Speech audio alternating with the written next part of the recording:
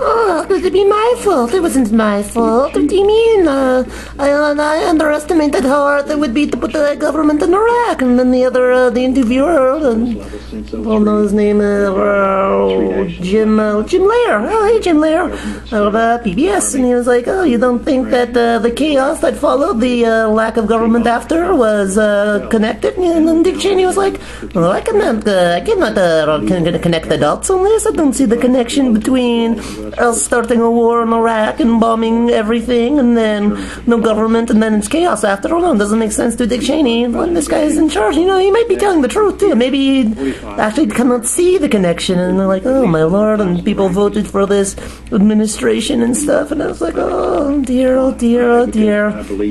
Maybe he really does have some sort of mental disease or some, some sort of sociopathic disorder where you're not aware of the actions of your irrational thinking and stuff, but he's still a pretty scary looking guy for a bald guy with glasses. He has this aura of menace around him that I can detect. For I am, uh, I'm quite empathic, yes, and I can, uh, in the way he dresses and his mannerisms, it's pretty evil. He's pretty, know, hmm.